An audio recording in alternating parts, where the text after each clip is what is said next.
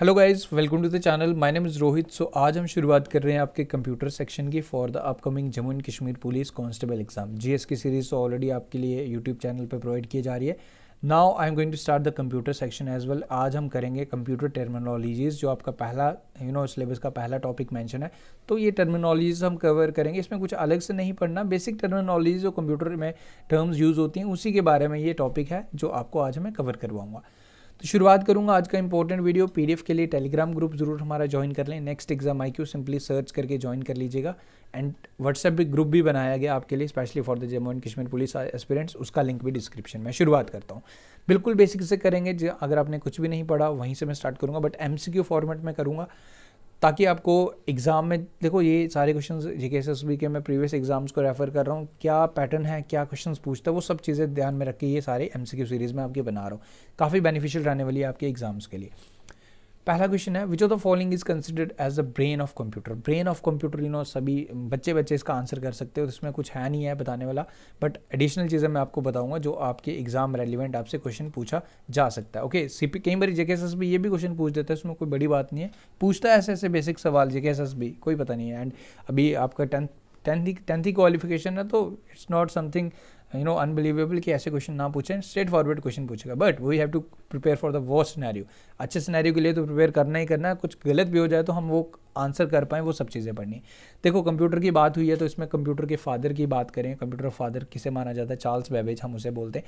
Additionally computer father modern father of modern computing कई बार पूछ देता है। Father of modern computer okay modern जहाँ टर्म यूज़ होगा, आपका आंसर बन जाएगा एलन ट्यूरिंग एलन ट्यूरिंग ये बेसिक्स आप याद रखें।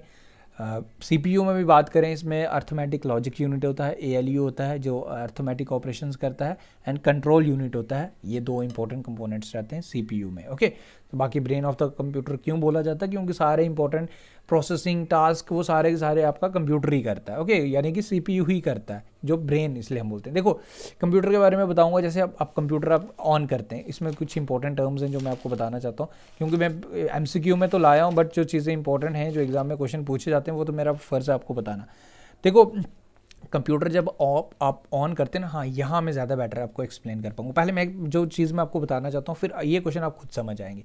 देखो जब हम कंप्यूटर ऑन करते हैं बेसिकली कंप्यूटर के अंदर होते हैं जी यू you नो know, एक वार्म बूटिंग बोलते हैं एक कोल्ड बूटिंग बोलते हैं ओके एक कोल्ड स्टार्ट एक वार्म बूटिंग बेसिकली क्या ये बूटिंग होती है बेसिकली अभी क्या मैं बोल रहा हूँ क्या आपको समझ आ रही है ये क्या है? बट यू विल रिलेट पहले मैं एक्सप्लेन कर लेता हूँ। देखो जब आप कंप्यूटर को ऑन करते हैं कंप्यूटर के अंदर होता है जी आप B I O S computer के अंदर होता है जी basic input and output system क्योंकि जब कंप्यूटर का आपने ऑन किया सी ऑन किया तो वो कुछ टाइम लेता है ना 10 से पंद्रह सेकेंड वो होता क्या है कि जो basic input and output system है वो यू you नो know, वो स्टार्ट हो रहा होता है वो स्विच ऑन हो रहा होता है। तो फिर उसके बाद आपका कंप्यूटर प्रॉपरली वर्क करने लग जाता है। ये मैंने आपको इसलिए बताया क्योंकि जब हम कंप्यूटर ऑन करते हैं तो उसको हम बोलते हैं कोल्ड बूटिंग, जिसमें basic input and output system load होता है। फिर आप कंप्यूटर को कई बार देखिएगा, जब आप कंप्यूटर को रीस्टार्ट करते हैं, जब आप कंप्यूटर को रीस्टार्ट करते हैं, वो जल्दी ऑन हो जाता है। ऐसा क्यों होता है? वो फिर से टाइम क्यों नहीं लेता? क्योंकि अगर आपने रीस्टार्ट किया बिकॉज़ जो basic and input output system है, जो फ़र्स्ट मेन चीज़ है कंप्यूटर की, वो ऑलरेडी ऑन हो गई होती है। मैं आपको ये बता रहा था ताकि अब इस क्वेश्चन पे आते हैं। देखो what type of memory is the non volatile and stores data permanently even if the computer is turn off देखो, ये इंपॉर्टेंट पॉइंट है, अगर आप अपना कंप्यूटर बंद भी कर देंगे, आपका कंप्यूटर अगर बंद भी हो जाएगा तो वो डेटा वहीं का वहीं रहेगा। आंसर इज़ रोम अब मैं थोड़ा सा एक्सप्लेन करूँगा, एक मिनट लूँगा, क्योंकि ये कंसेप्ट आपको पता होना चाहिए इसमें। देखो, दो टाइप की इंपॉर्टेंट मेमोरीज होती हैं, एक होती है रैम एक होता है रोम नॉन वोलाटाइल मेमोरी वो होती है कि जो रिमेन वहीं रहती है। अगर आप सोचो कि B B I O S basic input and output system में कंप्यूटर का उड़ जाए लाइट बंद हो जाए और कंप्यूटर अचानक से बंद हो गया। B I O S basic input and output system जो कंप्यूटर का ऑपरेट करता है, वही बंद हो जाए तो फिर क्या आपका कंप्यूटर कंप्यूटर रहेगा तो एक खाली डब्बा बन जाएगा। इसलिए वो नॉन वोलाटाइल मेमोरी में सेव होता है। क्वेश्चन में भी यही पूछ रहा है कि इसमें से कौन सी मेमोरी है जो नॉन वोलाटाइल जो परमानेंट है? अब देखो बी आई ओ एस अगर उड़ गया सपोज़ करो उड़ गया तो फिर तो कंप्यूटर तो कुछ भी नहीं बचा कंप्यूटर तो फिर काम ही नहीं करेगा। तो इसलिए दो मेमोरीज होती हैं। अब वोलाटाइल मेमोरीज आप कोई पीपीटी पे स्लाइड्स बना रहे हो लाइट चली भी गई।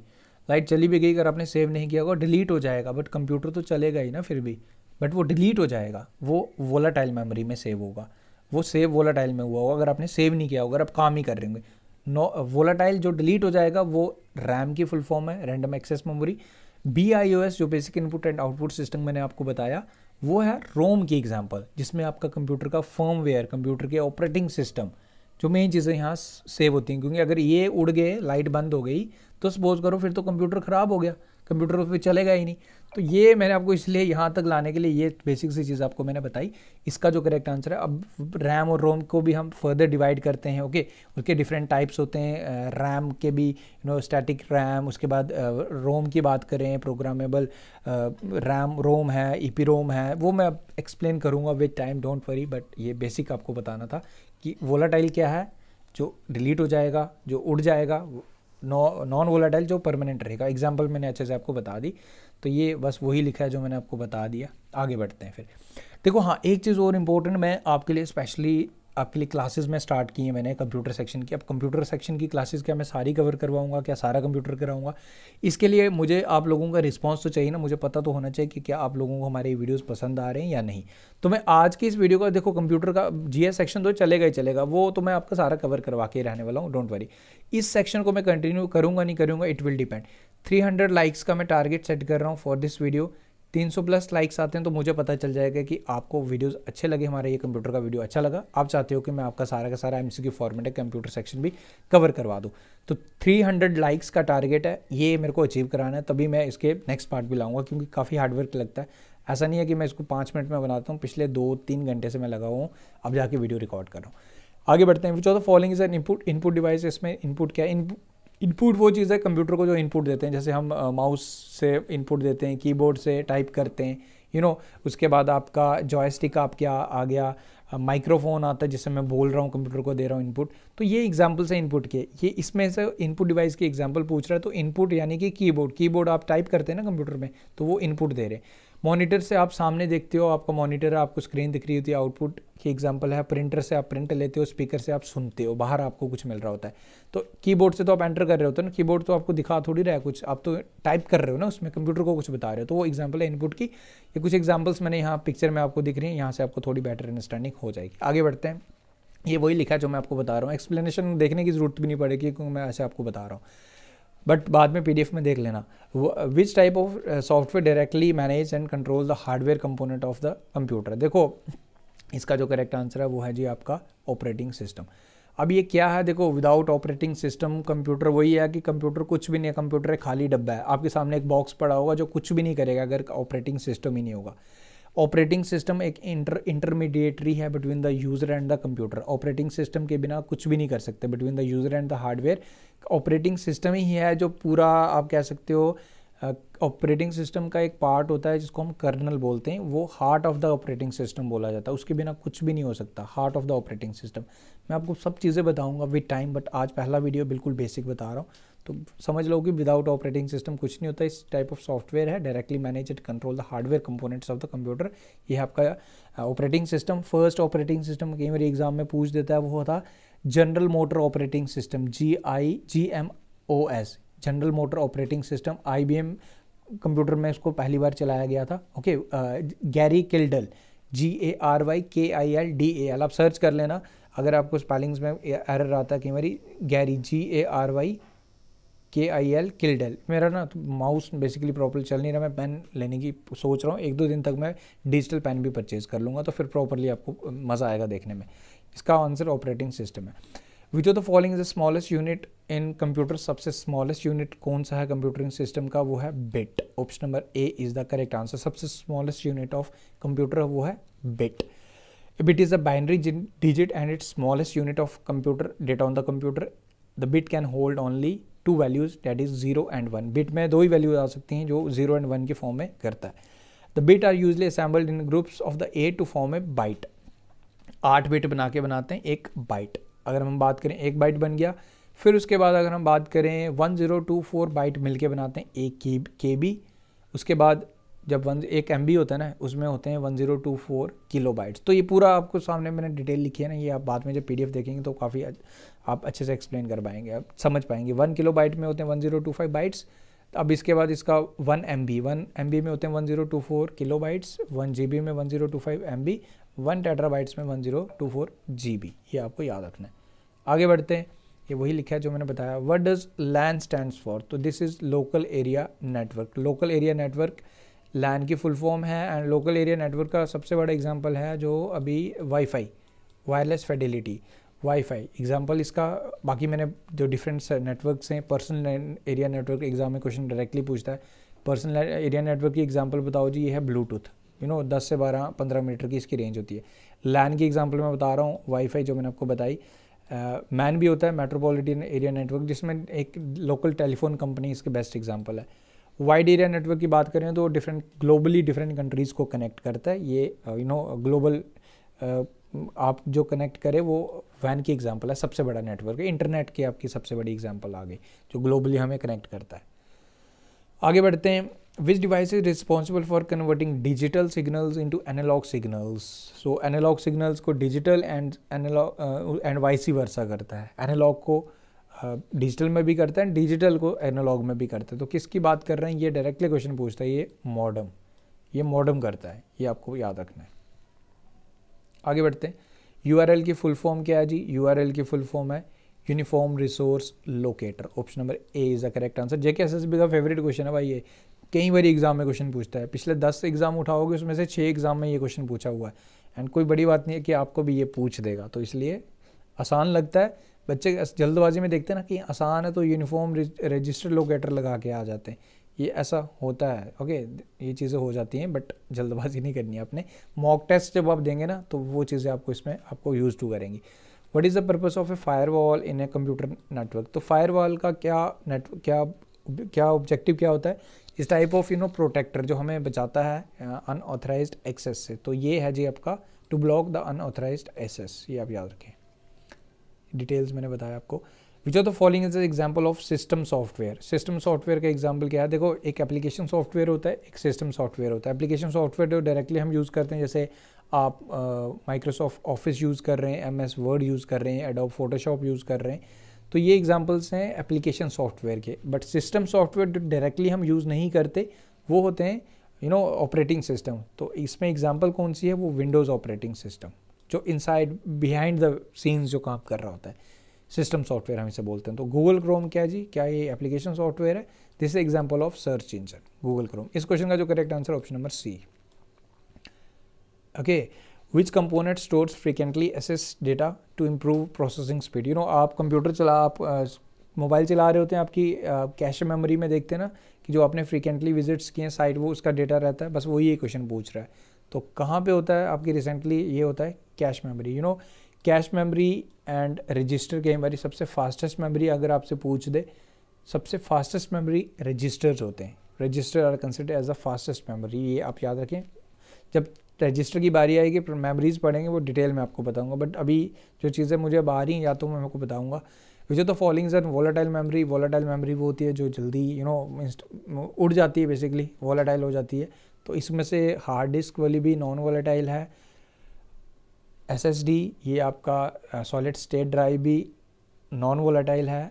रोम तो नॉन वोलाटाइल हाई है रैम की बात कर रहे हैं। Random access memory example of volatile memory okay ये डिलीट हो जाता है आपके सिस्टम्स वगैरह, अगर आप इसको सेव नहीं करेंगे सिस्टम से। तो ये वही है। Which of the following protocol is use to transfer files over internet कौन सा प्रोटोकॉल यूज़ होता है? This is file transfer protocol F T P directly full form भी पूछ देता है file transfer protocol you know transfer करने के लिए from one place to another H T T P की फुल फॉर्म पूछ रहा है, ये क्वेश्चन ईजी लगता है बट ये क्वेश्चन कई बार ना हम गलत करके आ जाते हैं। तो इसका जो करेक्ट आंसर है hypertext transfer protocol hypertext transfer protocol कई बार H T T P S भी पूछ देता है। अगर एस साथ में होगा ना तो उसमें सिक्योर आंसर हो जाएगा। सिक्योर एक ऐड होता है, बाकी सेम ही रहता है। इसका जो correct answer option number A hypertext transfer protocol is the correct answer for this question which of the following is not an operating system तीन यू नो ऑपरेटिंग सिस्टम है इसमें बट एक एक लैंग्वेज है। ये सारे के सारे ऑपरेटिंग सिस्टम है। लिनक्स विंडोज़ ये सब ऑपरेटिंग सिस्टम है बट पाइथन पाइथन एक लैंग्वेज है। यू नो जैसे सी है जावा है पाइथन एक लैंग्वेज है तो यही पूछ रहा था इसमें से कि इसमें से ऑपरेटिंग सिस्टम कौन सा नहीं है? पाइथन अगर आपको थोड़ा भी पता होगा ना तो आप इजीली आंसर कर सकते हो। अगर आपको ये भी नहीं पता होगा लिनक्स नहीं पता बट आपको ये पता है कि पाइथन एक लैंग्वेज है। तो इसलिए एडिशनल चीज़ें जो बताती हैं, बताई जाती हैं, वो पढ़ी जाती हैं, वो इंपॉर्टेंट रहती हैं। What is the main purpose of an I P address I P address का मेन पर्पस क्या है? You know I P address का जो मेन जो पर्पस है to identify device on the network इसका जो मेन पर्पस है to identify a device on the internet I P means internet protocol इसका ऑब्जेक्टिव है to identify a device on a network so option number B is the correct answer for this question what terms refer to a malicious software malicious software की एक term है basically malicious software you know जब हम virus and antivirus पढ़ते हैं तो उसमें ये मलेशियस सॉफ्टवेयर की अगर हम बात करें तो मालवेयर मालवेयर में हम पूरी different virus basically you know different types of virus हम पढ़ते हैं. ट्रोजन वायरस आपका आ गया फिशिंग वायरस तो वो सारे का सारा मलेशियस सॉफ्टवेयर कैटेगरी में आता है तो ये मालवेयर है, इस type of malware what does A I stand in computer science तो ए आई की फुल फॉर्म क्या है? आर्टिफिशियल इंटेलिजेंस सभी आप इसका ईजी से आंसर कर सकते हो। बट एडिशनली इसमें क्या चीज़ें आपको याद रखनी है? Father of A I you know father of A I John McCarthy बोला जाता है। डेनिस रिची भी आप याद रखें। Father of C language C language जैसे पाइथन एक लैंग्वेज है। सी एक इंपॉर्टेंट लैंग्वेज है। एग्ज़ाम में क्वेश्चन पूछता है। Dennis Ritchie is considered as a father of C language and John McCarthy is considered as a father of artificial intelligence ये आप याद रखें। Which of the following storage device has the fastest data access time so कौन सा है? इसमें से according to the option ये स्टोरेज डिवाइसेस हैं जिसका फास्टेस्ट डेटा एसेस टाइम है तो वो है solid state drive S S D is the correct answer for this question state पे याद रखें आप ये क्वेश्चन क्लाउड कंप्यूटिंग क्या है? क्लाउड कंप्यूटिंग है delivering computing services over the internet आप घर बैठे हो, आप कोई भी सर्विसेज़ यू नो ग्लोबली आप ले सकते हो दिस इज़ क्लाउड कंप्यूटिंग तो ये इसका एग्ज़ाम्पल है delivering computing services over the internet you know internet को यूज़ करके। तो ये था जी आज का हमारा पार्ट वन जिसमें मैंने बिल्कुल बेसिक आपके कुछ क्वेश्चन शेयर किए। उम्मीद करूँगा आपको वीडियो पसंद आया। 300 लाइक्स का मेरा जो टारगेट है, वो ज़रूर अचीव करवाएँ। देखो, मेरी हार्डवर्क काफ़ी ज़्यादा लग रही है बट अगर आप रिस्पॉन्स करेंगे तो मेरे को थोड़ा एक मोटिवेशन मिलेगा, ताकि मैं इस तरीके की वीडियोज़ ज़्यादा से ज़्यादा बनाऊँ और आपके साथ में इसे शेयर करूँ। सो मिलते हैं फिर नेक्स्ट वीडियो में। उम्मीद करूँगा नेक्स्ट वीडियो आएगा। वो डिपेंड कर देगा आपके लाइक्स पे। बट आई बिलीव कि आएगा तो हम इसे ज़रूर शेयर करेंगे। Thank you guys take care बाकी सीरीज़ तो आपके लिए चल ही रही है।